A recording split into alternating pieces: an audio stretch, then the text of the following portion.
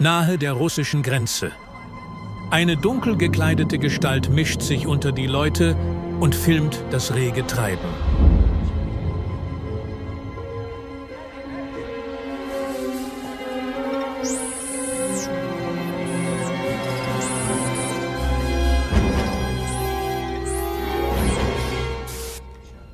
Unser Mann wird jetzt von der mittleren Kamera erfasst. Das sieht ja aus wie ein Flohmarkt für Terroristen. Chinesische Scud-Raketen, Panther AS-565 Kampfhubschrauber, chinesische Langer Marschraketen. In den Kisten dürften amerikanische Schnellfeuergewehre sein. Chilenische Minen, deutscher Sprengstoff. Der Freizeitspaß für die ganze Familie. Identifikation? Weißer Turm und weißer Springer. Zeigen Sie uns die Bauern. Er hat es also geschafft, Admiral. Fangen wir mit dem Kerl in der Mitte an. Laden Sie das Identifikationsprogramm. Datenvergleich läuft. Wir haben unseren ersten Treffer. Satoshi Isagura. Chemieexperte, gesucht wegen des Anschlags auf die U-Bahn in Tokio. Arbeitet im Augenblick für die Aufständischen in Zaire. Henry Gupta, US-Bürger. Gilt als Erfinder des Hightech-Terrorismus. Fiel als radikaler Student in den 60ern in Berkeley auf. Jetzt verkauft er seine Überzeugungen für Geld. Zoomen Sie mal auf dieses Gerät. Sieht aus wie ein amerikanischer Chiffriercomputer. Damit kontrollieren Sie Ihren Navigationssatelliten. Sie verfügen über ein GPS-System. Worüber wird die CIA wohl wütender sein? Dass die ihn verloren oder wir ihn gefunden haben? Entschuldigen Sie bitte. Admiral? Danke, M. Wir haben genug gesehen. Das ist jetzt eine militärische Operation. Haben Sie die Gatling entdeckt? Sind Ihre Truppen auf so eine Bedrohung vorbereitet? Nächste Woche finden bei uns in Moskau wieder mal Wahlen statt. Der Präsident hat angeordnet, dass Störungen auf jeden Fall verhindert werden müssen. Wir nehmen die Marine-Variante. Gut. Wir erledigen auf einen Schlag die Hälfte aller Terroristen dieser Welt. Admiral Roback, ich muss protestieren. Geben Sie mir die Chester. Verschwenden wir keine Zeit. Unser Mann ist noch nicht fertig. Schwarzer König an weißen Läufer. Sie haben Feuererlaubnis. Holen Sie Ihren Mann da raus. Sein Job ist beendet. Wir haben Feuererlaubnis. Abschuss vorbereiten. Auf mein Kommando. Fünf, vier, drei, zwei, eins. Flugkörper gestartet. Exakte Flugzeit 4 Minuten 8 Sekunden. Weißer Springer, vier Minuten bis zum Einschlag. Verschwinden Sie. Ja, verdammt, ich weiß, was das ist. Wir haben alles auf dem Bildschirm. Da steht ein Jeep vor einem Flugzeug. Na und? Jetzt hauen Sie schon endlich da ab, verdammt nochmal. Was ist denn da los? Sie warten auf keinen Fall. Das ist ein Befehl. Worauf wartet Ihr Mann denn noch? Weißer Springer. Da fährt der Jeep zur Seite. Oh mein Gott. Das sind sowjetische SB-5 Nukleartorpedos. Wenn die Rakete dort einschlägt. Die Rakete muss sofort zerstört werden. Verbinden Sie mich mit der Chester sofort. Weißer Springer, bitte melden. Rakete zerstören, Rakete zerstören. Weißer Springer, bitte kommen. Rakete zerstören. Rakete zerstören. Captain Sir, Rakete ist außer Reichweite. Zerstörung unmöglich.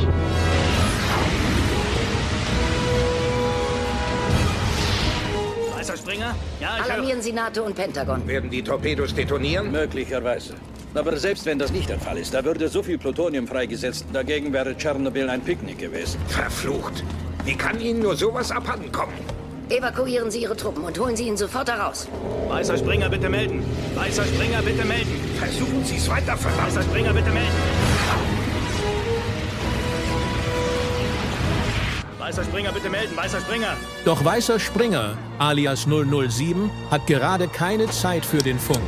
Er stiftet Chaos, um in das Cockpit des Kampfjets mit der Nuklearwaffe zu gelangen. Ach, ist ungesund.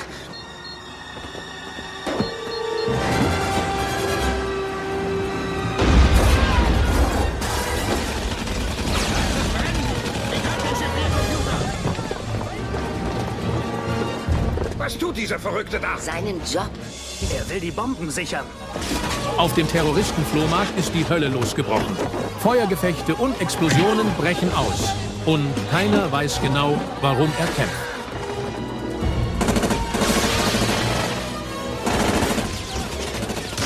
Verschwinde da bitte, James. Schon hat es der britische Agent ins Cockpit des Jets geschafft. Mit dem Bordgeschütz und ein paar Raketen räumt er den Weg zur Startbahn frei.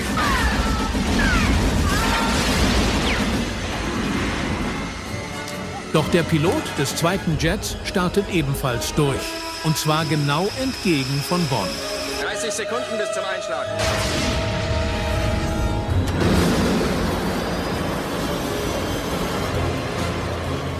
Die Flugzeuge rasen aufeinander zu. 007 gelingt es gerade noch rechtzeitig, vor dem anderen Jet hochzuziehen. Dann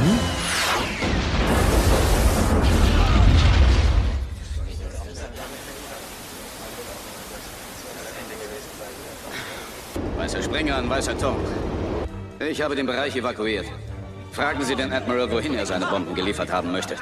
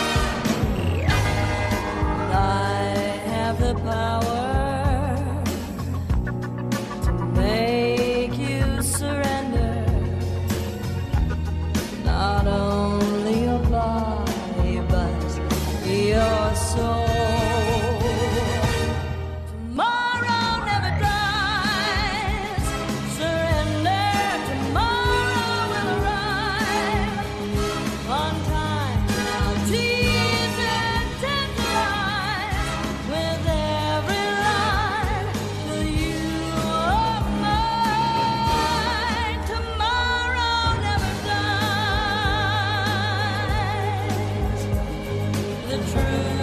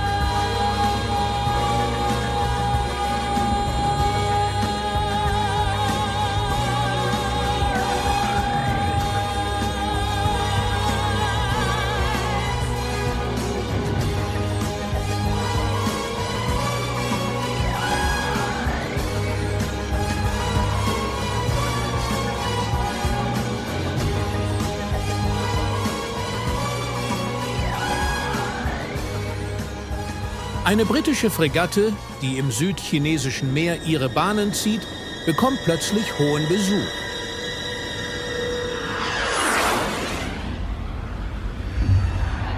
Alle Mann auf Gefechtsstation! Krieg ich noch mehr Reis? Das Schiff ist von zwei chinesischen Wings überflogen worden. Möglicherweise ist ein Angriff nicht auszuschließen. Alle Mann auf Gefechtsstation, höchste Alarmstufe.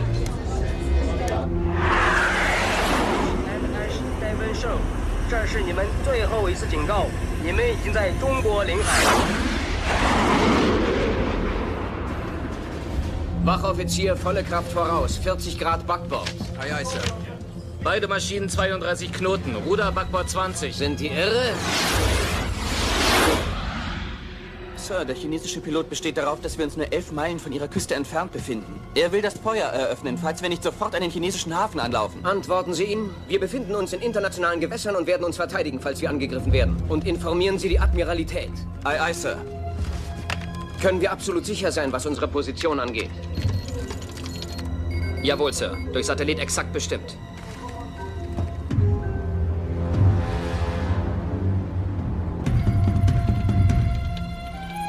Kaum eine Meile entfernt gibt der erste Kanonier auf einem geheimnisvollen tiefschwarzen Boot seinen Statusreport zu Protokoll.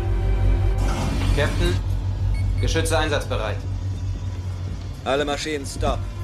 Jede Radarabstrahlung verhindern. Ein Stealth-Schiff mag für das Radar unsichtbar sein, aber die Seadrill ist keins.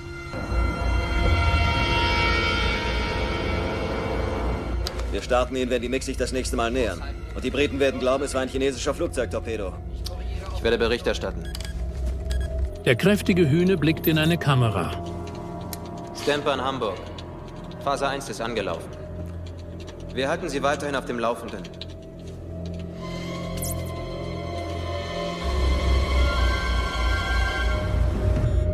Die Mix befinden sich wieder im Anflug. Fangen wir mit der Show an. Seadrill in Position. Auf 400. Seadrill kann abgekoppelt werden. Schick das Ding auf die Reise. 2030. Die Mannschaft auf dem Stealth-Boot schickt eine Maschine auf die Reise, die einem riesigen Bohrkopf ähnelt. Zielstrebig sucht sich das Höllengerät den Weg zur Fregatte. Dort bleibt es nicht unbemerkt.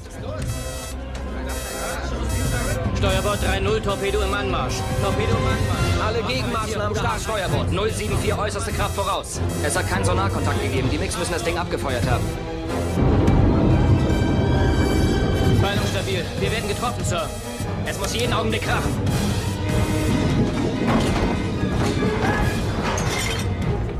Achtung, Achtung, Torpedo-Einschlag! Ziel 1200. Klopf, klopf.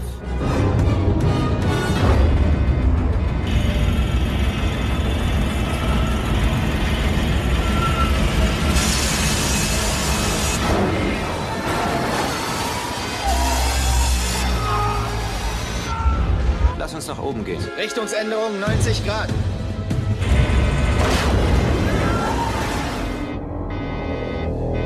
Und jetzt fragen Sie sich, warum der Torpedo nicht detoniert ist. Brücke, ich brauche einen vollständigen Schadensbericht. Wir schalten um auf Notstrom. Drei Generatoren sind ausgefallen, Sir. Wassereinbruch in Deck 4, achtern. Sir, Sir, wir haben jetzt 14 Grad Schlagseite. Funker, Funkspruch an die Admiralität. Wurden von chinesischen Mix torpediert. Sinken. Geben Sie unsere Position durch. Okay, alle Mann von Bord.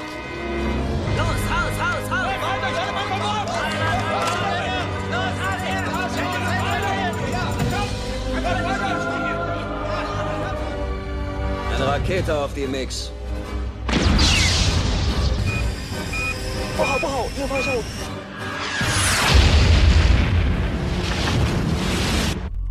Ihr letzter Funkspruch, Sir.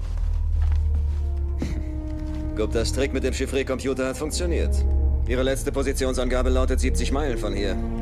Die britische Marine wird sie nie finden. Es gibt offenbar Überlebende.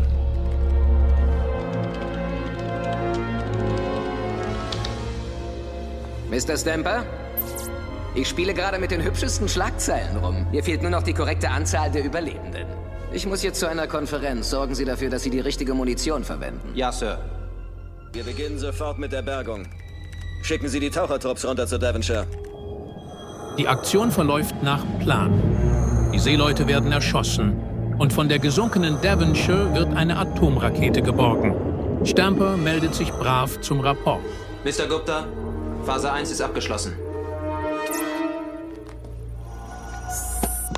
Guten Morgen, ihr braven Apportierhunde. Welche Katastrophe darf die Kava Mediengruppe heute auf der Welt verbreiten?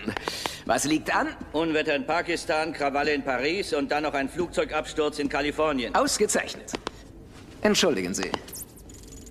Erwartet auf Leitung 7. Mr. Stamper? Phase 2 ist angelaufen. Ich habe auch das Videoband. Ich konnte es selbst noch nicht sehen, aber die Qualität soll sensationell sein. Es gibt 17 Überlebende für ihre Schlagzeilen. Gute Arbeit, Stamper. Meine Herren und Damen, halten Sie die Druckerpressen an. Das ist das Neueste. Dank einer verrückten Laune des Schicksals haben wir die perfekte Story für den heutigen Start unseres Satelliten-Nachrichtenmagazins.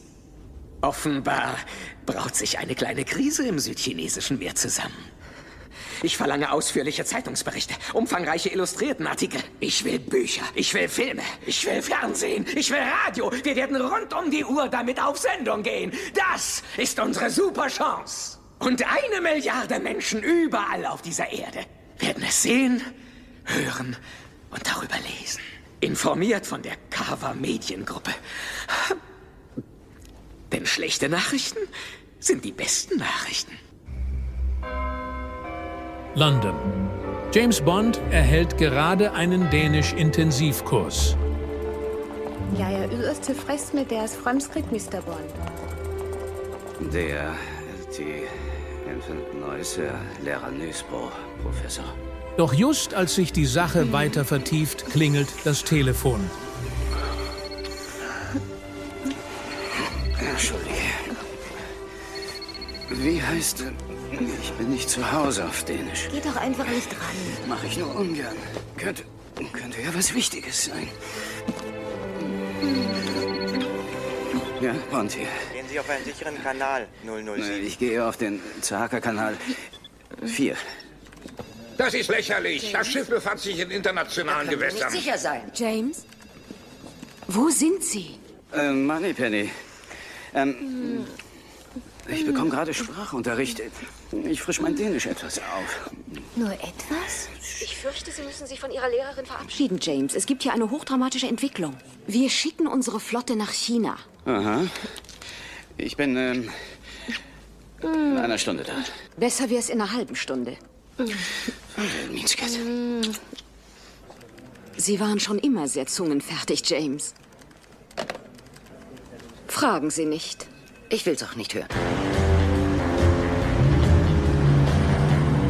Eine gute Stunde später im Hauptquartier des MI6. Das ist doch absurd. Wir wissen exakt, wo sich das Schiff befunden hat. Das GPS-System kann sich aufgrund der Satellitensteuerung niemals irren. Ja, aber unsere Station in Singapur empfing ein mysteriöses Signal auf der GPS-Frequenz zum Zeitpunkt des Angriffs. Vielleicht hat das die Positionsbestimmung beeinträchtigt. Ich vermisse eine britische Fregatte. Das ist mir durchaus klar. Aber statt entschlossen zu handeln, wollen Sie es Ich mal würde gern ermitteln. den Dritten Weltkrieg verhindern, Admiral. Und ich glaube nicht, dass die Entsendung einer Armada in das Krisengebiet sehr hilfreich wäre. Woher genau kam dieses mysteriöse GPS-Signal? die Ermittlungen laufen noch. Die Ermittlungen. Bei allem Respekt, M. Ich glaube, Ihnen fehlt das, was ein Mann hat für diesen Job. Schon möglich. Aber dafür muss ich nicht dauernd mit dem, was mir fehlt, denken. Das reicht jetzt. Also, wie stehen die Dinge? Es war ein nicht zu rechtfertigender Angriff auf ein Schiff in internationalen Gewässern.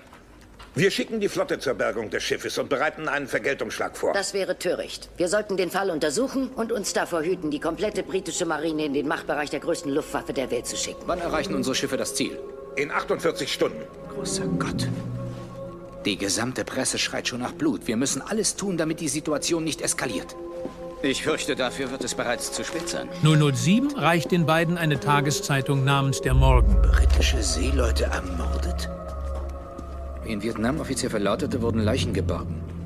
Die Opfer sind offensichtlich mit chinesischer Munition erschossen worden. Stammt das von Ihnen? Nein. Das höre ich zum ersten Mal. Dann ist der Fall klar. Wir entsenden unsere Flotte. M, Sie haben noch 48 Stunden für Ihre Ermittlungen. Und so findet das Briefing unter Polizeibegleitung in einer Limousine statt. Eins ist daran etwas merkwürdig. Ich habe vorhin unseren Mann in Saigon angerufen. Er sagt, die Vietnamesen haben unsere Marinesoldaten erst vor drei Stunden gefunden. Wie kommt es, dass es dann schon in den Zeitungen steht? Jemand bei Tomorrow wusste es vor der vietnamesischen Regierung. Was wissen Sie über Elliot Carver 007? Weltweit operierender Medienmogul. Er kann mit einer Sendung Präsidenten stürzen. Carver besitzt auch die Zeitung Tomorrow. Ich wollte nicht vor dem Minister darüber reden, aber das mysteriöse Signal kam von einem von Carvers Satelliten. Der Premierminister würde mir den Kopf abreißen, wenn er wüsste, dass Sie gegen Carver ermitteln sollen. Sie fliegen nach Hamburg 007. Sie haben für heute Abend eine Einladung zu einer Party in Carvers Medienzentrum. Die feiern den Start eines neuen Satelliten. Damit ist Carver in der Lage, jeden Menschen auf dieser Welt zu erreichen. Bis auf die Chinesen. Die haben ihm die Senderechte verweigert. James, Ihr Ticket, Ihre Legende und die Mietwagenreservierung. Quittieren Sie das bitte. Gern. Soviel ich weiß, hatten Sie mal eine Affäre mit Carvers Frau, Paris. Das ist eine Ewigkeit her, M. Das war vor Ihrer Ehe. Mir war allerdings nicht klar, dass es allgemein bekannt ist. Für König und Vaterland, James. Finden Sie raus, ob Carver oder sonst jemand in seiner Organisation das Schiff vom Kurs abgebracht hat und warum. Nutzen Sie Ihre Kontakte zu Mrs. Carver, falls es nötig ist. Ich glaube kaum, dass sie sich noch an mich erinnert. Bringen Sie sich wieder in Erinnerung. Und dann quetschen Sie ein paar Informationen aus ihr raus. Sie müssen dann nur noch entscheiden, wie sehr Sie quetschen müssen, James. Vielleicht sollte ich damit bei Ihnen anfangen, meine Penny.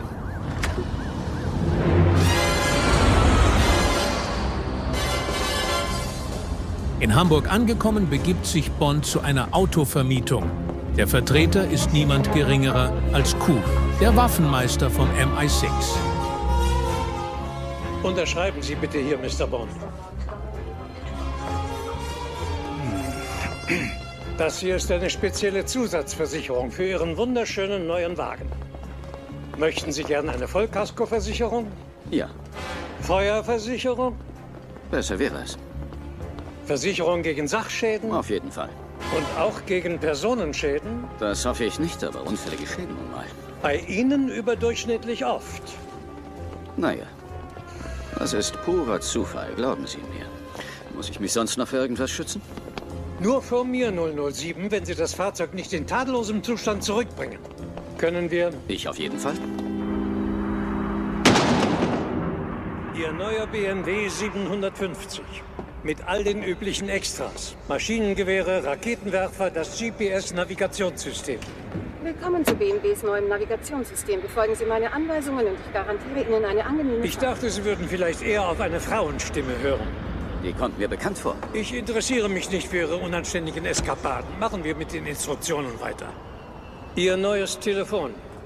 Es enthält nützlicherweise einen Fingerabdruckscanner und ein 20.000 Volt Sicherheitssystem. Und hierauf bin ich ganz besonders stolz. Das ist die Fernbedienung für Ihren Wagen. Sie drücken zweimal hier drauf. Eins, zwei.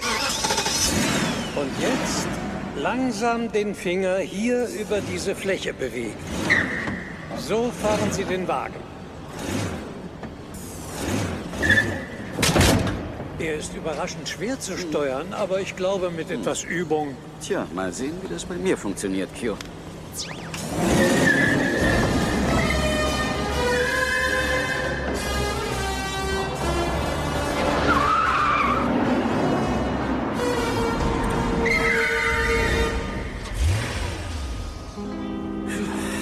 Ich glaube, ich kriege den Dreh raus. Sie werden wohl nie erwachsen, 007. Am Abend dann besucht Bond die Eröffnungsfeier von Carvers neuem Medienzentrum. Entschuldigen Sie, Mr. Carver. Ja. Das ist ein Bankier, den Sie eingeladen hatten. Mr. Bond. James Bond. Schon wieder ein Bankier, als ob ich die sammeln würde. Sagen Sie mal, Mr. Bond, wie reagiert der Markt auf diese Krise? Währenddessen stößt eine hübsche Asiatin zu der Gruppe. Ich glaube, wir haben uns noch nicht vorgestellt. Elliot Carver. Weilin. Ich bin von der Nachrichtenagentur Neues China. Ich habe Ihren Namen nicht auf der Gästeliste gesehen. Das ist richtig. Er steht nicht drauf. Ich wollte zu Ihnen. Und aus welchem Grund, meine Liebste? Ich wollte Sie unbedingt kennenlernen. Ausgezeichnet. Ich bewundere Frauen, die die Initiative ergreifen. Sie sollten in meinem Pekinger Büro arbeiten. Mr. Carver, Sie haben kein Büro in Peking. Nennen Sie mich Elliot. Und dann trifft Bond auf Paris Carver. Ich habe mich immer gefragt, was für ein Gefühl das sein würde, wenn ich dich wiedersehe.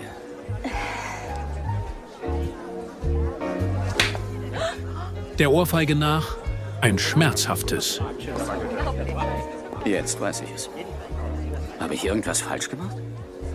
Was bedeutet das, wenn du sagst, ich bin gleich wieder da? Es ist was dazwischen gekommen. Bei dir kommt immer was dazwischen. Und wie geht's dir, Paris? Im Augenblick wesentlich besser. Jetzt sind wir quitt.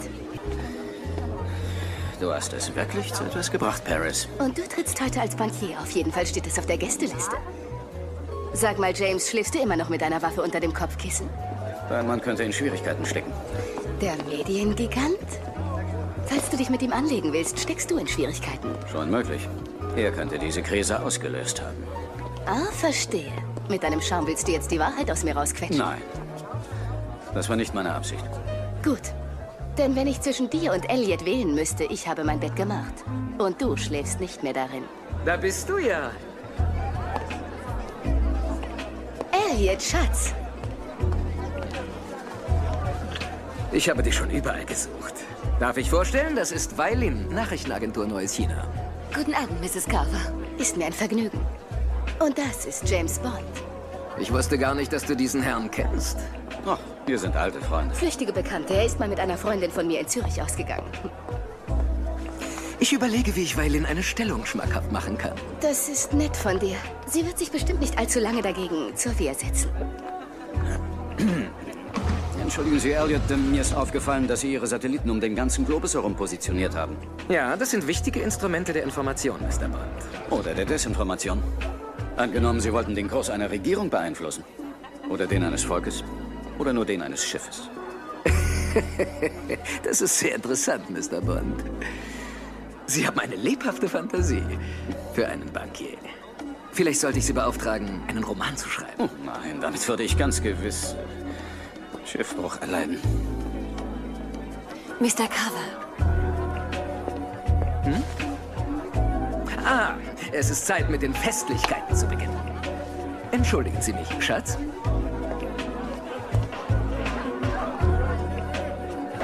Also, woher kennst du ihn wirklich? Habe ich doch schon gesagt. Er war der Freund deiner Freundin in Zürich. Als Lügnerin bist du nicht besonders gut, Schatz. Mr. Stemper, ich äh, habe da ein Problem mit einem Bankier. Kann ich Sie einen Moment sprechen? Meine Damen und Herren, Ladies and Gentlemen, Mr. Carvers Sendung beginnt in zehn Minuten im Hauptstudio. In der Menge kommt Bond mit der hübschen Chinesin ins Gespräch. Auf welche Sparte des Bankgeschäftes haben Sie sich spezialisiert, Mr. Bond? Feindliche Firmenübernahmen. Wollen wir?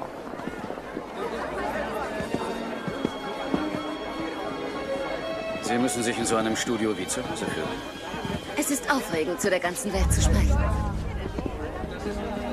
Offenbar will da auch jemand mit Ihnen sprechen. Zwei Männer im Schrankformat kommen auf die beiden zu. Mr. Bond, ein dringender Telefonanruf für Sie.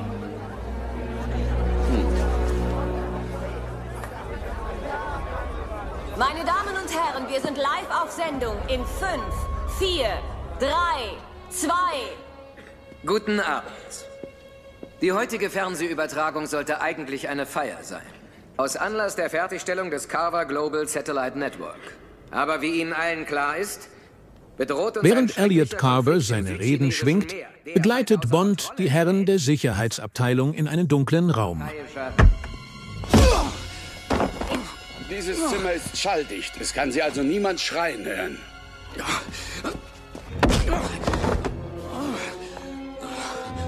Sie scheinen sich sehr für Mr. Carvers Geschäfte zu interessieren. Er möchte gern wissen, weshalb. Setzt ihn auf den Stuhl, dann knöpfen wir ihn uns richtig vor. Hein? Doch 007 dreht den Spieß um und lässt die Security alt aussehen. In jeder Mr. Stemper! Aber fürchten Mr. Stemper, hören Sie mich! Heute Abend möchte ich Ihnen meine Prinzipien offenbaren. Ich möchte ein Versprechen abgeben. Eine Lanze für die Schluss Freiheit mit zu brechen, dem wo immer das möglich ist. Werbeblock. Ja, Unterbrechung. das sind die Ziele des Carver Media Group Net. Was soll das? Der Strom ist weg, wir sind nicht mehr auf Sendung. Wir senden nicht mehr. Meine Damen und Herren, ähm, bitte bleiben Sie ruhig. Wir haben nur eine kleine Stromstörung und wir werden gleich weitermachen. Was heißt das? Wir sind nicht Die auf. Stromzufuhr ist unterbrochen. Sie sind gefeuert. Verschwinden Sie. Nach Carvers Blamage begibt sich Bond in das Hotel Atlantic. Zufrieden mit der Tatsache, dass er den Stein ins Rollen gebracht hat. Durch einen etwas peinlichen Stromausfall wurde heute Abend der streitbare Medienmogul Elliot Carver während der ersten Sendung seines weltweiten Satellitennachrichtenmagazins in seiner Eröffnungsrede abgewürgt. Tut uns leid, Elliot, aber wir waren es nicht. Erfolgreicher Abend, nicht wahr? Komm schon, Elliot, du musst diese Leute ignorieren. So etwas passiert manchmal. Aber nicht mir. Aber nicht mir!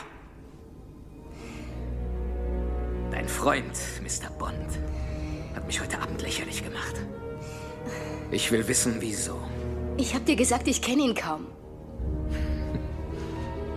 Kaum. Paris trifft eine Entscheidung.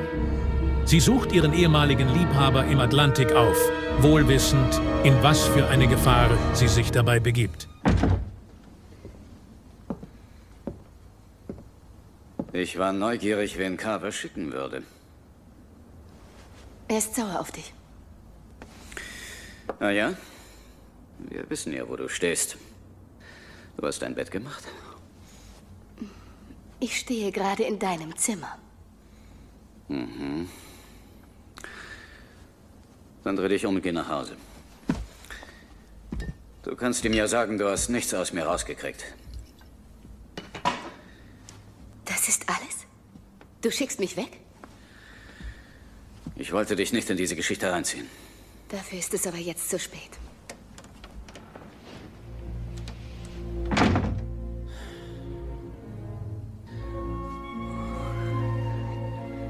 Und so flammt die Leidenschaft zwischen den beiden erneut auf.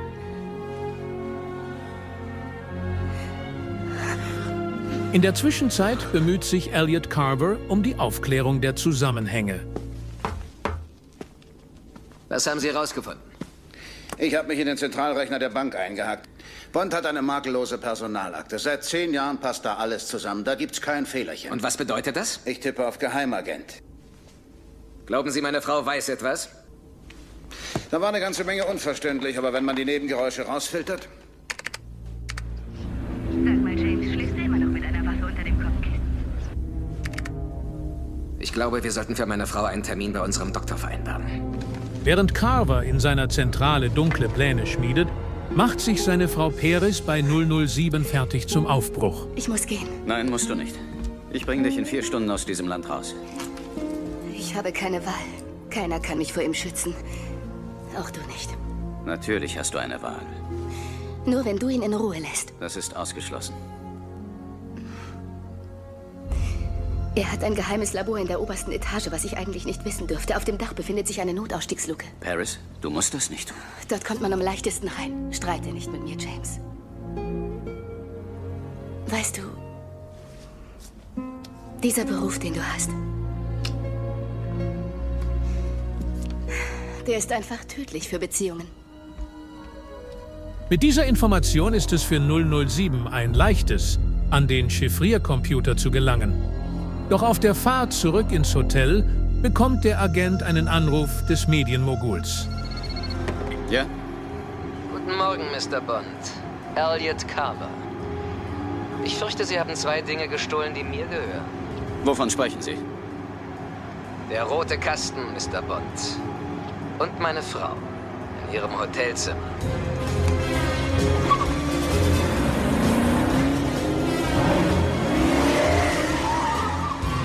Vom Dach des Atlantik aus wird der Agent beobachtet. Er fährt gerade vor.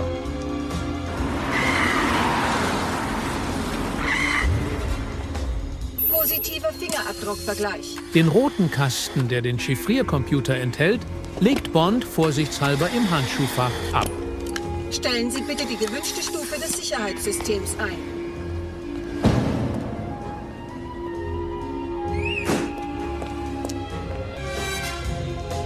Wenn Sie den Chiffriercomputer haben, sagen Sie Bescheid.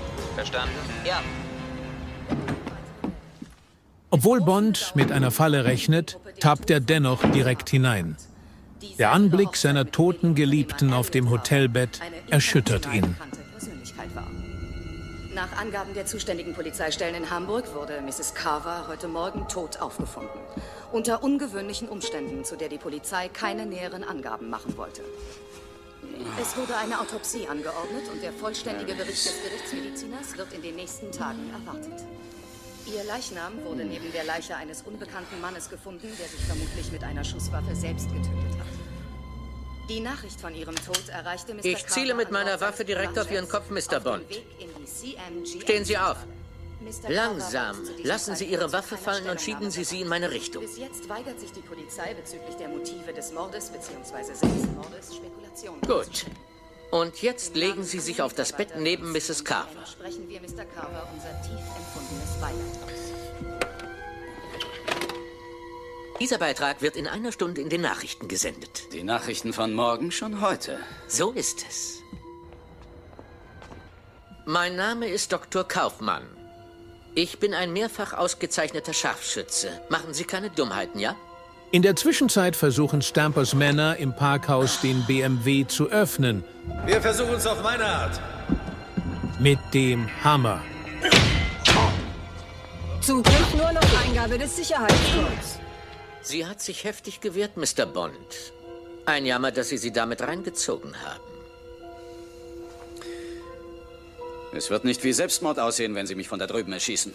Ich bin Professor für forensische Medizin. Glauben Sie mir, Mr. Bond, ich könnte Sie von Stuttgart aus erschießen und ich würde trotzdem die richtige Wirkung erzielen. Meine Fähigkeiten sind sehr gefragt, Mr. Bond. Überall auf der Welt. Und meine Spezialität ist übrigens der berühmte goldene Schuss.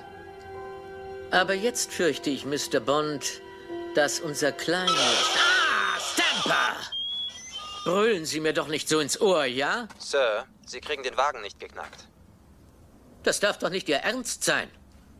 Rufen Sie den Automobilclub an. Übernehmen Sie das. Bringen Sie ihn dazu, uns zu sagen, wie wir in den Wagen kommen. Ja, ja, okay, ich frag ihn. Das ist mir überaus peinlich. Offensichtlich befindet sich in Ihrem Wagen ein roter Kasten, an den kommen die Herren nicht heran. Jetzt soll ich Sie dazu bringen, den Wagen zu öffnen. Ich komme mir wie ein Idiot vor. Ich weiß nicht, was ich sagen soll. Ich darf Sie foltern, wenn Sie nicht damit rausrücken. Haben Sie darin auch einen Doktortitel? nein, nein, nein. Das ist wohl eher ein Hobby. Aber ich bin sehr begabt. Ja, das glaube ich Ihnen. Mit meinem Handy kann man den Nein, nein, nein, Mr. Bond. Äh, ich mache das, ja? Drücken Sie Recall, dann die drei und Send. Hm.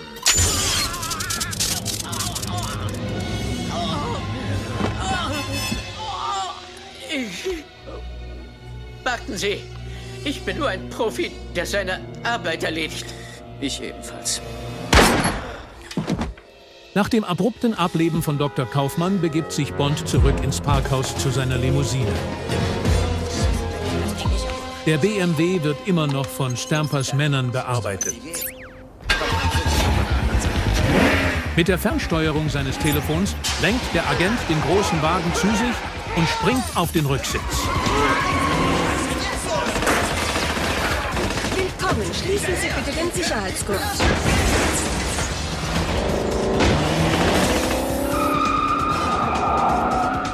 Achtung, Fußgänger auf der Fahrbahn.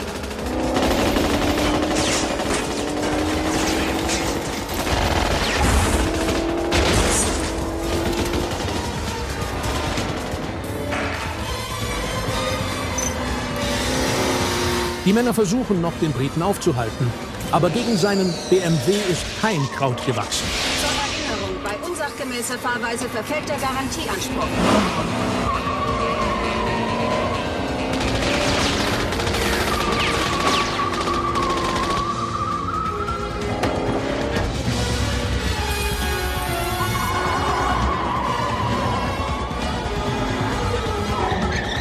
Hughes Trickkiste verhilft Bond zur Flucht.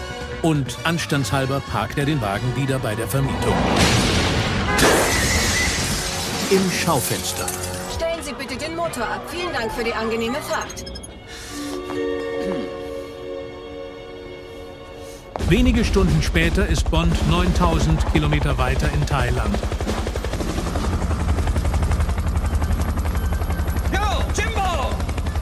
Wait, Teufel machen Sie denn hier? Jimbo, Sie wissen doch, die Welt ist mein Büro. Sie werden schon erwartet. Hat Q Sie bereits über alles informiert? Ja, ich habe das GPS-Kalibrierungsgerät dabei. Ach, übrigens, Ihnen ist klar, offiziell ist Onkel Sam völlig neutral bei diesem Totalschießen. Und inoffiziell? Wir haben kein Interesse an einem dritten Weltkrieg, es sei denn, wir fangen ihn an. Dr. Greenwald, er ist der GPS-Experte der Air Force. Entschuldigen Sie die Sicherheitsmaßnahmen, aber der GPS-Chiffriercomputer ist eines der bestbewachten Geheimnisse der US Army. Zeigen Sie ihm, was Sie haben. du Schande, das ist der vermisste Chiffriercomputer. Wo haben Sie denn das Ding her? Den habe ich gestern Morgen in Hamburg gefunden. Erklären Sie mir eins. Könnte man damit ein Schiff vom Kurs abbringen? Sie... Sie meinen die Devonshire? Oh, ich weiß absolut nichts von einer Devonshire. Sie etwa? Äh, nein. Gut, also beantworten Sie nur seine Frage. Na schön, äh, theoretisch, wenn man den Timing-Chip verändert, könnte man ein Schiff tatsächlich vom Kurs abbrechen. Wie ein Magnet, den man neben einen Kompass legt. Ja, genau. Dann sehen Sie sich das mal an. Sofort. Der Experte steckt den Computer in ein Überprüfungsgerät. Oh ja, also äh, diese beiden Kreise müssten deckungsgleich sein. Jemand hat Ihren Chiffriercomputer verändert. Wenn wir die letzte Positionsmeldung der Devonshire hätten, könnten Sie dann genauer rechnen, wo sie gesunken ist? Natürlich. Wait. Ja? Sie müssen mir einen kleinen Gefallen tun. Kurz darauf ist man 9000 Meter über dem Meeresspiegel. Den Absprung aus großer Höhe, bei dem im letzten Moment der Fallschirm geöffnet wird, nennen wir Halo Jump. Dabei gibt es die meisten Todesfälle. Sie springen aus 9000 Meter ab, 8000 Meter freier Fall und benutzen Sie die Sauerstoffmaske. Klingt fast so wie meine erste Sonst ersticken Sie. Nach dem freien Fall ziehen Sie die Reißleine 60 Meter unterhalb des chinesischen Radars. Sie haben dann etwa 350 Sachen drauf. Wenn der Schirm aufgeht, müssen Sie aufpassen, dass Sie sich nicht den Kopf an den Sauerstoffflaschen einschlagen. Ich werde es mir merken. Und vergessen Sie nicht, sich sofort vom Fallschirm loszuschneiden, wenn Sie im Wasser sind. 90% der Todesfälle beim Halo-Jump passieren, weil sich die Leute im Fallschirm verheddern und dann ertrinken. Alles klar? So viel Stress nur, um die Welt zu retten, Jimbo? Ich habe leider keine Wahl, Wade. Ich muss beweisen, dass das Schiff absichtlich vom Kurs abgebracht wurde. Noch eine Minute! Wie holt ihr mich raus? Alles geklärt. Wenn Sie fertig sind, schalten Sie den Peilsender ein, dann holt unsere Mannschaft Sie nach Einbruch der Dunkelheit raus. Viel Spaß! Ich, äh, mir ist da gerade etwas aufgefallen. Das war die fälschlich angenommene Position des Schiffes. Ja. Und das hier war die tatsächliche Position. Aber sehen Sie die Insel da? Ja. Tja, das bedeutet die Stelle, an der er runterkommt zwischen der britischen und der chinesischen Flotte. Naja, genau genommen ist es kein chinesisches Hoheitsgewässer. Was? Das gehört zu Vietnam. Vietnam? Trägt er irgendwelche US-Kennzeichen? Tja, Fallschirm am Taucheranzug und den Schwimmflossen. Wenn die Vietnamesen ihn erwischen, drehen die wahrscheinlich durch. Die Luke öffnet sich und Bond springt. Und er hat sich nicht mal verabschiedet.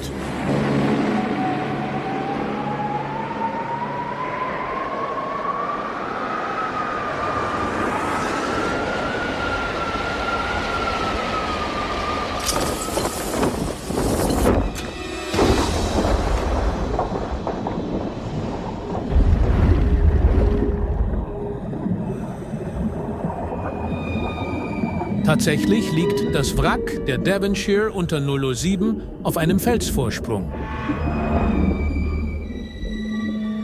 Bond taucht in den Raketenraum und entdeckt, dass eines der Geschosse fehlt.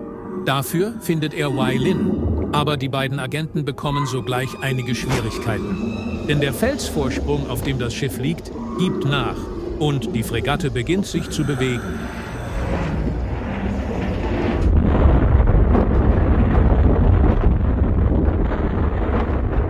Türen schlagen zu, als die riesigen Regale mit den Flugkörpern dagegen kippen. Den beiden bleibt nicht viel Zeit, um durch eines der Lüftungsrohre nach draußen zu tauchen.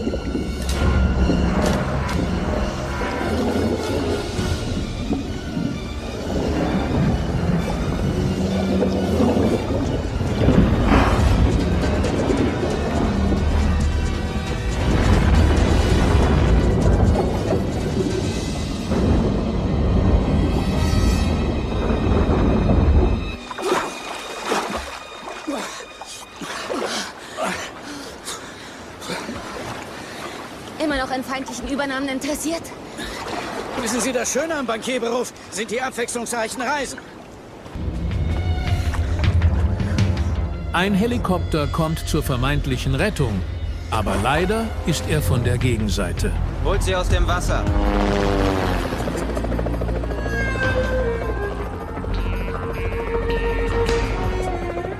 Mit Handschellen aneinander gefesselt beobachten die beiden die vor ihnen auftauchende Skyline von Saigon.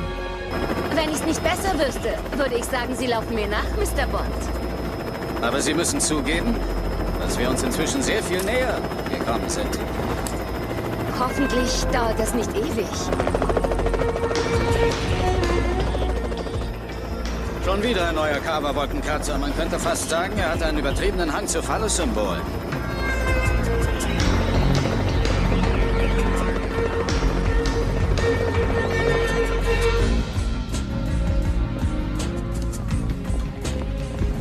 Als Mr. Stamper die beiden durch die Flure des Hochhauses führt, kommt ihnen ein uniformierter Chinese mit starrem Blick entgegen. General Chang. Ein Freund von Ihnen? Mr. Bond, Miss Lin. Willkommen in Saigon. Ist immer eine Freude, Sie zu sehen, Elliot. Ich wollte dieses Pressezentrum erst morgen eröffnen, aber da Sie schon mal hier sind, können Sie mir beim Verfassen des ersten Artikels helfen. Ihrem Nachruf. Ich hoffe nur, Sie waren bei Paris genauso entgegenkommend. Um ehrlich zu sein, Mr. Bond, Sie haben die Todesanzeige für meine Frau geschrieben, als sie mit ihr Verrat an mir beging. Na egal, was soll's. Der britische Secret Service Agent James Bond und seine Komplizin Weilin von der Auslandsabteilung des chinesischen Sicherheitsdienstes wurden leider heute Morgen in Vietnam tot aufgefunden. Da fehlt noch das gewisse Etwas, finden Sie nicht? Ach, das ist doch ein alter Hut, Elliot. Wir arbeiten schon seit Monaten zusammen. Unsere Regierungen wissen, was Sie und General Chang vorhaben. Das glaube ich nicht. Sie haben den General wahrscheinlich auf dem Flur getroffen. Aber da Sie immer so viel durch die Gegend jetten, sind Sie wohl noch nicht dazu gekommen, die heutigen Schlagzeilen zu lesen. Ich glaube nie, was in den Zeitungen steht. Genau da liegt Ihr Problem, Mr. Bond. Natürlich, wir sind beide Männer der Tat, aber die Ehre von Ihnen und Miss Lynn geht zu Ende. Worte sind die neuen Waffen. Satelliten, die neue Artillerie. Und Sie sind demnach der neue alliierte Oberbefehlshaber. Ganz genau. Caesar hatte seine Legionen, Napoleon seine Armeen. Ich habe meine Division. Fernsehen, Nachrichten, Printmedien. Und bis heute um Mitternacht habe ich mehr Menschen informiert und beeinflusst als jeder andere in der Geschichte des Planeten. Mit Ausnahme von Gott natürlich. Das Beste, was er je zustande gebracht hat, waren die zehn Gebote. Hm, jetzt sind Sie wirklich wahnsinnig. Der Unterschied zwischen Wahnsinn und Genie definiert sich lediglich aus dem Erfolg. Verzeihen Sie. General Chang wartet bereits. Bitte entschuldigen Sie mich. Aber Ihr Erscheinen hat mich gezwungen, mein Programm etwas vorzuverlegen. Ich lasse Sie in den bewährten Händen von Mr. Stamper und seinen Spielzeugen. Aber vielleicht möchten Sie sich das noch ansehen. Sir, der Helikopter. Danke, Gupta. Mr. Stamper ist Schüler des verstorbenen Dr. Kaufmann, der ihn die alte Kunst der Chakra-Folter gelehrt hat. Er war für mich wie ein Vater. Wirklich? Psychologisch sehr interessant. Nach der asiatischen Philosophie hat der Körper sieben Chakrapunkte. Energiezentren wie das Herz oder die Genitalien. Der Sinn dieser Instrumente ist es, diese Organe zu sondieren, größtmöglichen Schmerz zuzufügen und das Opfer gleichzeitig so lange wie möglich am Leben zu lassen. Dr. Kaufmanns Rekord war 52 Stunden. Ich verspreche, ihn zu brechen. Hm. Und ich dachte, Ihre TV-Shows zu sehen wäre Folter genug. Heben Sie das hier bis zum Schluss auf. Nach der Entfernung von Mr. Bonds Herz sollte er noch genug Zeit haben, um zu sehen, wie es aufhört zu schlagen. Entschuldigen Sie mich. Ein kurzer Blick zwischen den Agenten genügt und sie lassen die Hölle losbrechen. Stamper wirft sich schützend über seinen Chef. Und so können sich Y, Lin und Bond die anderen Wachen vom Hals halten. Die beiden springen aus dem zersplitternden Fenster. Auch auf dem Vordach des Wolkenkratzers bleibt die Luft bleihaltig, bis Wylin auf eine Idee kommt. Wir könnten das Banner benutzen. Hoffentlich hält es. Los, schnappt sie euch! Fertig! Los! Das riesige Banner mit Carvers Konterfei reißt in der Mitte durch und trägt das ungleiche Gespann bis fast zum Boden.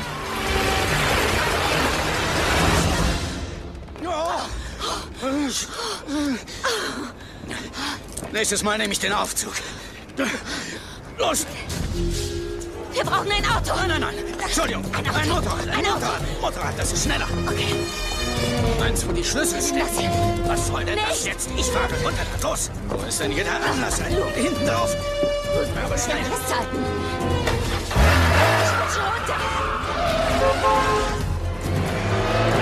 Was soll denn die Zappelei da hinten?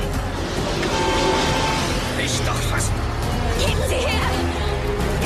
Kuppeln, kuppeln, kuppeln! Nach rechts! Nein, links! Der fährt denn jetzt hier! Machen Sie schon!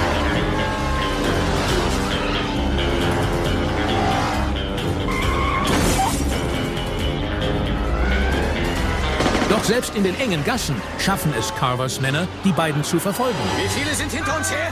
Kann ich nicht erkennen. Warten Sie mal.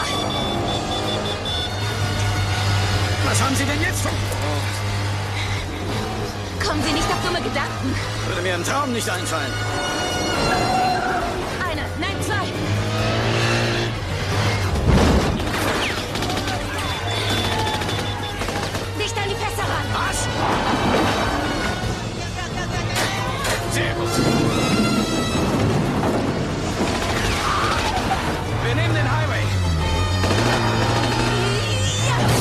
Um die verfolgenden Geländewagen abzuschütteln, fährt 007 kurzerhand über eine Rampe auf die Dächer der Stadt. Aber auch dort lassen die Verfolger nicht lange auf sich warten. Helikopter! Schon gut, machen Sie sich nicht ins Hemd. Und schon werden die beiden unter Dauerfeuer genommen, während sie über Dächer und durch Dachwohnungen rasen.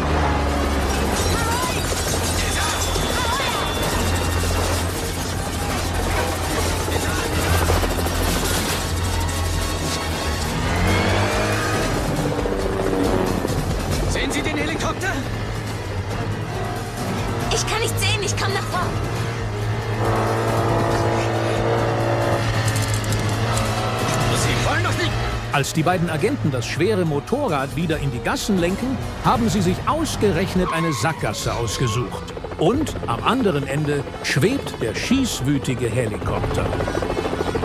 Geben wir auf? Niemals. Es gibt also nur die Flucht nach vorne. Die Agenten schnappen sich eine Wäscheleine und rasen auf den Helikopter zu.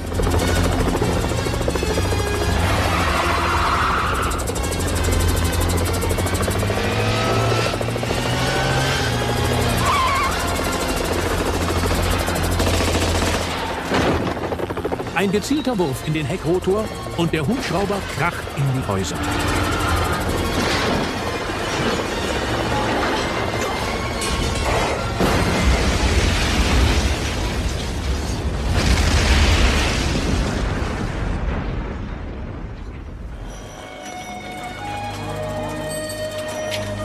Dann schlendert das ungleiche Paar durch die Gassen Saigons bis zu einem als Fahrradladen getarnten Stützpunkt des chinesischen Geheimdienstes. Hinter den schwenkbaren Regalen verbergen sich allerlei Computer und Überwachungsgerätschaften. Die Agenten schnappen sich die Ausrüstungsgegenstände und wappnen sich für den Kampf. Offenbar will General Chang Yen tot. Denken Sie immer noch, Sie könnten es allein schaffen? Kommt darauf an, ob Ihr Auftrag Frieden oder Vergeltung ist. Es geht darum, einen Krieg zu verhindern. Letztes Jahr entdeckten wir einen Fehlbestand von 10 Tonnen Stealth-Beschichtung auf einem Stützpunkt von General Chang. Hinweise führten mich zu Carvers Hauptquartier in Hamburg. Stealth-Beschichtung? Wir dachten, er baut ein Stealth-Flugzeug. Nein, ein Stealth-Boot. Nur so konnten sie sich unbemerkt der Devonshire nähern und ein Loch in das Raketenmagazin bohren. Wie Sie wissen, haben die eine Cruise Missile aus dem Schiff gestohlen. Er hat gesagt, er würde seinen Zeitplan auf Mitternacht vorverlegen. Ja, das ist richtig. Im Schutz der Dunkelheit wird sich das Stealth-Boot der britischen Flotte nähern und die Rakete auf China abfeuern. Und wir werden zurückschlagen. Und Carver wird dazu die Bilder liefern. Ich muss Peking warnen. Nein, wir warnen beide Regierungen. Die sollen miteinander verhandeln und wir versuchen herauszufinden, wo das Boot ist. Von allen Häfen, die von General Chang kontrolliert werden, liegen 22 in dicht besiedelten Gegenden. Bleiben 14, wo er ein Stealth-Boot verstecken könnte. Tja, tagsüber kann man es sehen. Es ist für das Radar unsichtbar, aber nicht für das Auge. Also musste er es irgendwo verstecken, von wo er in einer Nacht zu Devonshire und zurückfahren konnte. Kommt mir bekannt vor. Wir haben Fortschritte gemacht. Das sieht man. Na schön. Vier Stunden hin und vier Stunden zurück. Mhm. Nehmen wir an, das Boot fährt mit einer Geschwindigkeit von äh, 30 Knoten. Aufgrund dieser Daten gibt es vier Stellen, wo er das Boot stationieren könnte. Überprüfen Sie diese Stellen, ob es da irgendwas Verdächtiges gibt.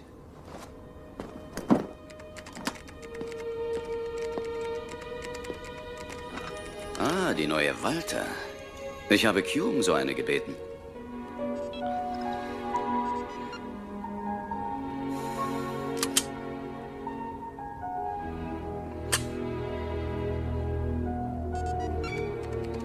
Ich habe es. Sehen Sie? Vier vermisste Boote. Ein paar Fische haben ihr Leben gelassen. Das muss es sein. Halong Bay.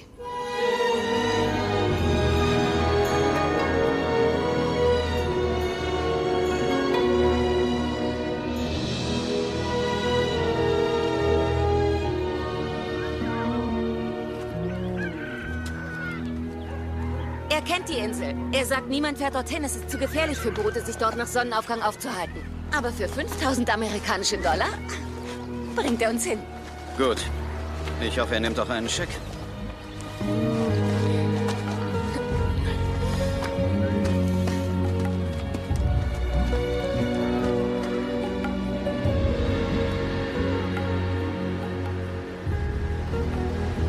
Meistens ist der Job langweilige Routinearbeit. Aber hin und wieder kriegt man einen wunderschönen Abend wie diesen geschenkt. Und manchmal trifft man einen dekadenten Agenten einer korrupten westlichen Macht. Da heißt es immer, Kommunisten verstehen keinen Spaß. Ach, ich will Sie nur ungern enttäuschen. Aber ich habe nicht mal das kleine rote Buch. Falls mir was passiert, die Zünder für die Minen sind hier drin. Wir beenden das hier gemeinsam. Und wenn ich das mal so sagen darf, Sie haben den richtigen, dekadenten, korrupten, westlichen Agenten als Partner.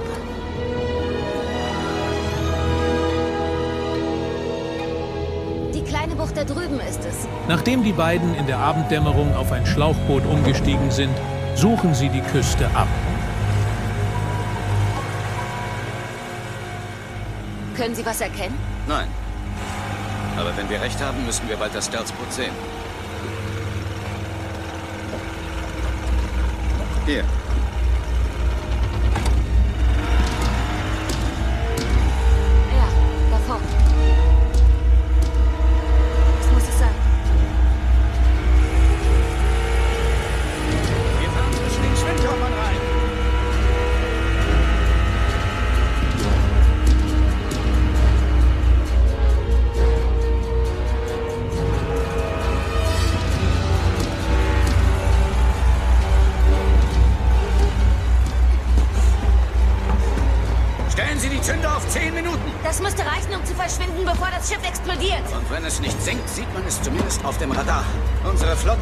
Erledigen dann den Rest. Falls Sie unsere Nachricht erhalten haben. Alles klar? Okay. Sie gehen darüber.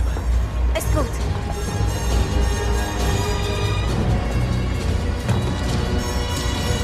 Während die Agenten die Bomben auf dem turnhallengroßen Katamaran verteilen, kommt in dessen Kommandozentrale ein teuflischer Plan ins Rollen.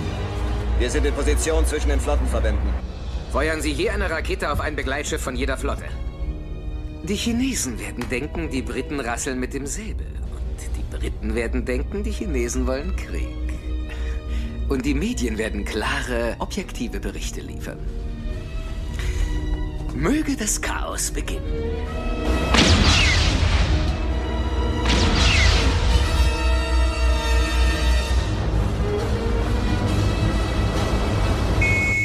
Flugkörper im Anflug. Funkspruch an Admiralität. Flottenverband wird von Flugkörper angegriffen. Meldet zwei Wellen MiG-21 mit Kurs auf uns. Wir müssten die erste Gruppe in zwei Minuten auf dem Schirm haben. Wie lange brauchen die Mix, bis sie auf Schussweite an die britische Flotte heran sind? Zwölf Minuten. Wofür zum Teufel bezahle ich euch? Eine der Außenkameras auf dem Stealthboot zeigt Weilin im Großformat. Wenn sie hier ist, ist Bond auch nicht weit. Stamper, ich will die beiden haben.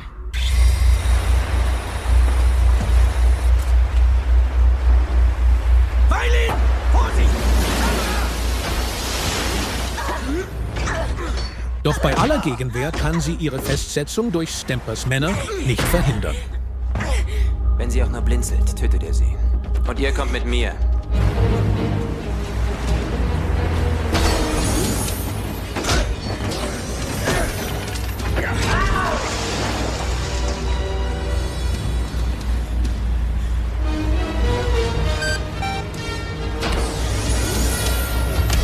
Commander Bond erledigt derweil einen der Schergen und täuscht mit dessen Leiche seinen eigenen Tod vor.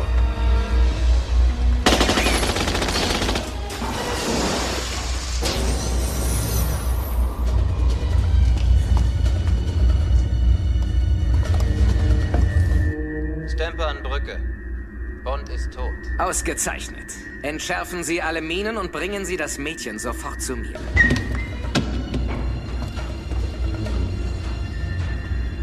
Müssen wir die wirklich raufholen? Das ist meine Show, Mr. Gupta. Und ich habe gern Zuschauer. Schleusen für die Raketen überprüfen. Schleusen für die Raketen überprüfen. Ah, Miss Lin. Ihre Landsleute sind ja so kooperativ. Wie immer wollen Sie Ihr Gesicht nicht verlieren.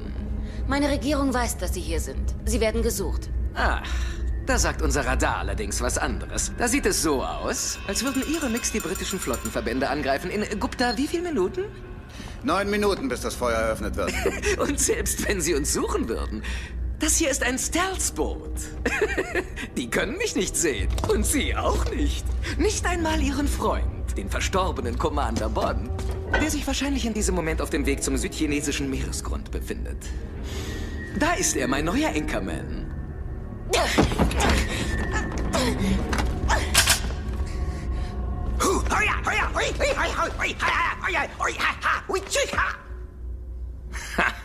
Einfach lächerlich. Doch zur gleichen Zeit kommt die Nachricht tatsächlich bei den Regierungen an.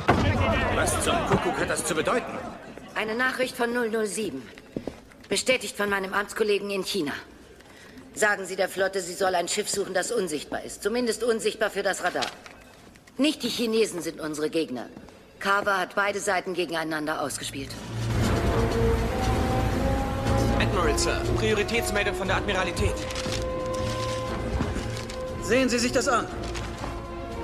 Haben Sie irgendwas auf dem Radar, das sehr klein ist? Äh, Rettungsboot, Schlauchboot oder sowas? Nein, Sir. Ein Stealthboot, Sir? Die sind verrückt geworden.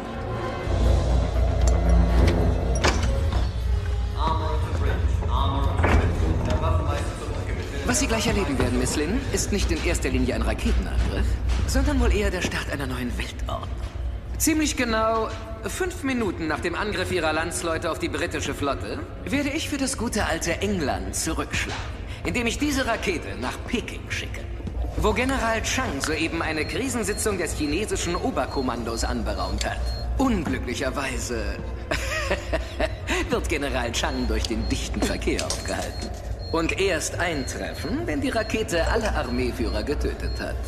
Und zu spät, um die Luftwaffe davon abzuhalten, die gesamte britische Flotte zu versenken. Aber er kommt gerade noch rechtzeitig, um die Regierung zu übernehmen. Einen Waffenstillstand auszuhandeln und als bedeutender Staatsmann erhält er bestimmt den Nobelpreis. Und was springt für Sie raus? Für mich? Ach, nichts weiter. Nur die exklusiven Senderechte in China für die nächsten 50 Jahre. Fertig zum großen Feuerwerk. Wenn Sie mich entschuldigen, meine Liebe, ich habe einen ziemlich wichtigen Termin. Bereithalten zum Abschuss der Rakete. Mr. Gupta? Während Carvers Selbstbeweihräucherung hat James Bond ganze Arbeit geleistet. Er hat es geschafft, sowohl eine Bombe zu verstecken, als auch den Cyberspezialisten in seine Gewalt zu bringen. Hallo, Elliot. Interessanter Plan. Ich glaube nur, ich habe hier etwas, das Ihnen gehört. Und da heißt es immer, die Deutschen arbeiten effektiv, Mr. Stamper?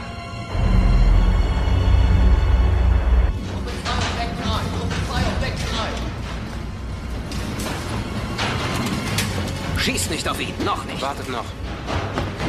Willkommen als Zeuge zu meiner Weltkrise, Mr. Bond. Ich mache Ihnen ein faires Angebot, Elliot. Gupta für Weilin. Sie können die Rakete nicht ohne ihn abfeuern. Und Sie können offenbar keiner Frau widerstehen, die mir gehört. Worauf warten Sie noch? Erschießen Sie ihn. Ich habe Ihnen doch gesagt, wir beenden das gemeinsam. Ach, wie romantisch. Ist Ihnen nicht klar, wie absurd Ihre Position ist? Auch nicht absurder, als einen Krieg für Einschaltquoten anzuzetteln. Große Männer haben schon immer die Medien manipuliert, um die Welt zu retten. Der einzigartige William Randolph Hearst hat seinen Fotografen gesagt, liefern Sie die Fotos, ich liefere den Krieg. Ich bin nur einen Schritt weiter gegangen. Bond lässt sich von der Plauderei nicht täuschen und entdeckt einen von Carvers Schützen auf der Empore. Tut mir leid, ich äh, war einen Moment abgelenkt. Touché. Mr. Gupta, ist die Rakete abschussbereit? Einmal auf den Zauberknopf drücken und Peking verschwindet. Tja, vielen Dank. Das war's dann. Sie haben ausgedient. Verstehen Sie, Mr. Bond? Ich habe noch einen Reserveplan. Aha, genau wie ich. 007 zündet die versteckte Bombe mit seiner Uhr und ein beträchtlicher Teil der Bootshülle bricht auf. Er gibt der flüchtenden Weilin Feuerschutz und kurz darauf ist das ungleiche Paar wieder vereint. Wenn die Hülle beschädigt wird, kann man es auf dem Radar sehen. Sir, wir haben einen merkwürdigen Objektkontakt auf dem Oberflächenradar in Peilung 112 Grad.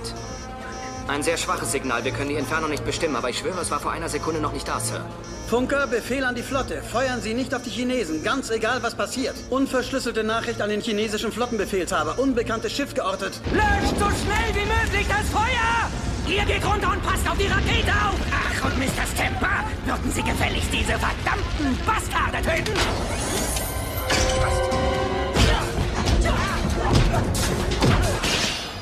Gute Arbeit. wird schneller. Wir müssen das Schiff stoppen. Gehen Sie in den Maschinenraum? Aber gern. Gut, und danach gehen Sie von Bord. Ich verhindere den Abschuss der Rakete.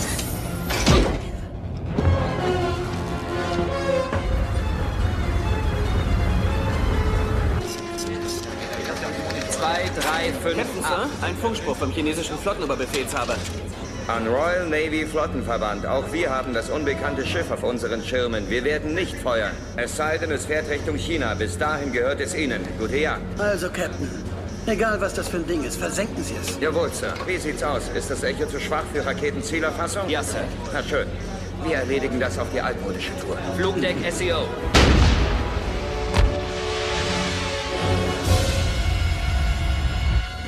Bond hat uns zum Ziel gemacht. Und sich selbst damit auch. Fahren Sie ein Ausweichmanöver. Und bereiten Sie den sofortigen Raketenstart vor. Einleiten der Startsequenz. T minus fünf Minuten. Countdown läuft. T minus 5 Minuten. Countdown läuft. Sir, die machen 32 Knoten. Bei der Geschwindigkeit sind sie in zwei Minuten außerhalb unserer Waffenreichweite. Weiter feuern, wir müssen sie bremsen.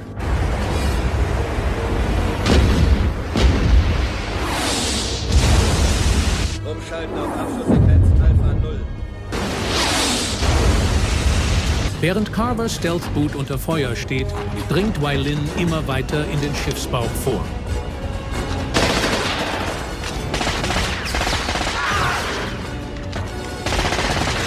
Mit Gewehrsalven zerstört sie die Steuerung.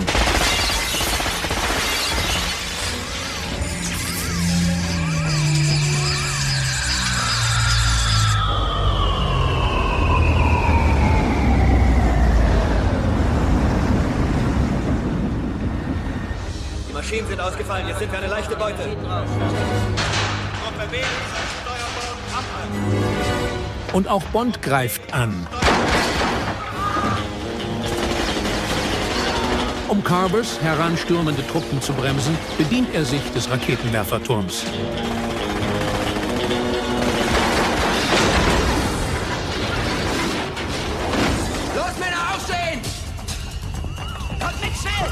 Doch nicht nur an Bord des Tragflächenbootes wird gefeuert, auch die britische Marine ist unterdessen nicht untätig. Ein Volltreffer entfacht ein weiteres Inferno auf Carvers Schiff.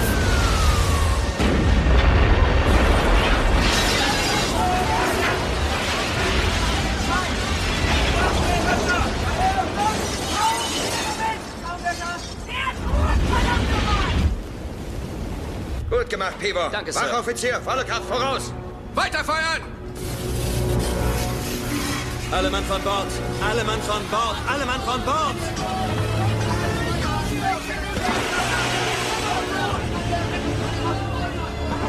Die Besatzung hat sich mittlerweile auf Carver und Stemper auf der einen und Bond und Wylin auf der anderen Seite reduziert. Mr. Stemper, was haben Sie mit den Mädchen vor? Besuchen Sie sie doch mal im Maschinenraum.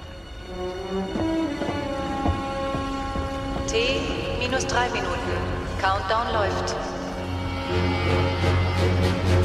Und während Wylin Stemper in die Hände fällt, wird Bond von Carver hinterrücks überrascht. Sie kommen wieder zu spät, Mr. Bond.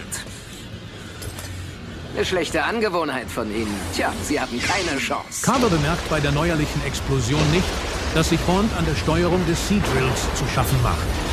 Er richtet seine Waffe auf den Agenten, während hinter seinem Rücken das Höllengerät startet. T minus 2 Minuten. Countdown läuft. Die Rakete ist programmiert. Sie kann nicht mehr aufgehalten werden. In wenigen Augenblicken wird mein Plan gelingen. Und dank Ihrer Bemühungen wird die britische Marine die Beweise zerstören. Ich bin dann längst weg. In einem Carver-Nachrichtenhelikopter, um über den Vorfall zu berichten. Das wird eine fantastische Show. Ich habe noch ein paar Neuigkeiten für Sie, Elliot.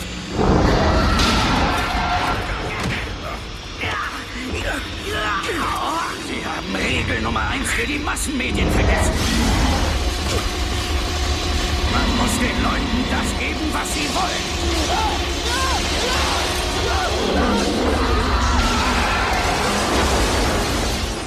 Und nach Carvers aufreibendem Ende macht sich Bond augenblicklich daran, die Rakete zu zerlegen. T minus 1 Minute. Countdown läuft.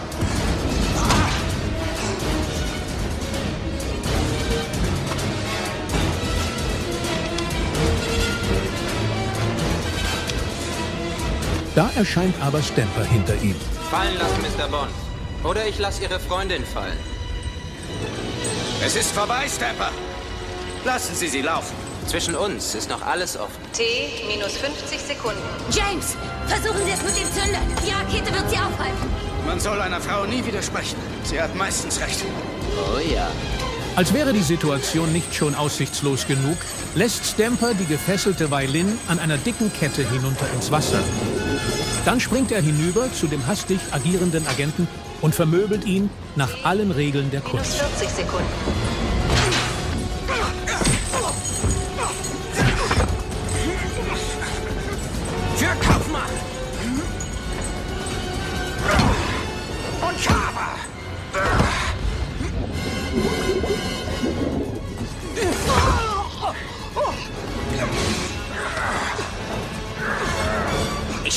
Einen besonders schönen Tod, Mr. Bond.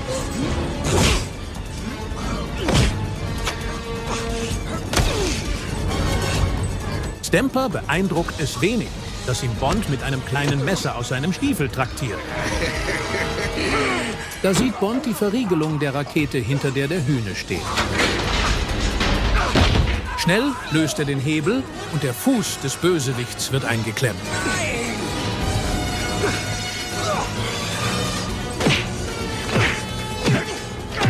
...007 will sich von dem derart gebundenen Deutschen losreißen, aber der hat andere Pläne für den britischen Agenten. T minus 20 Sekunden.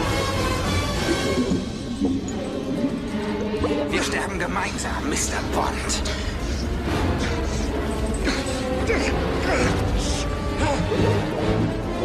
Schließlich pflückt sich Bond das Messer, das immer noch in Stampers Schulter steckt, und schneidet sich von dem anhänglichen Riesen los.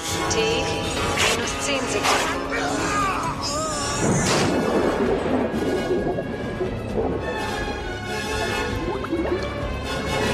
Im Wasser indessen taucht er gleich nach der immer noch an der Kette hängenden Weilin, um sie sofort mit Sauerstoff zu versorgen.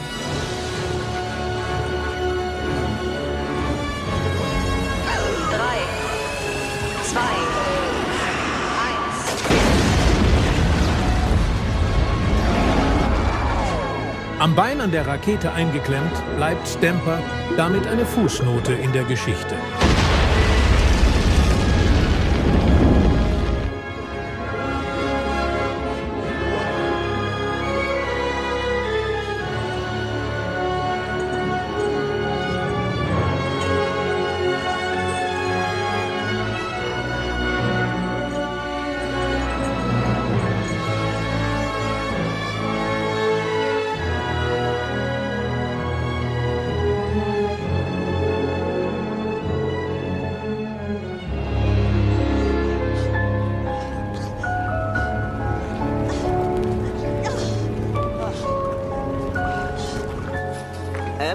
Bedford meldet, dass Carver mit seinem Schiff versenkt wurde. Bond hat es also doch geschafft.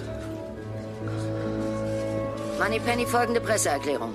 Elliot Carver vermisst, vermutlich ertrunken. Er befand sich an Bord seiner Luxusjacht auf einer Kreuzfahrt im südchinesischen Meer. Im Augenblick gehen die zuständigen Behörden davon aus, dass er Selbstmord begangen hat.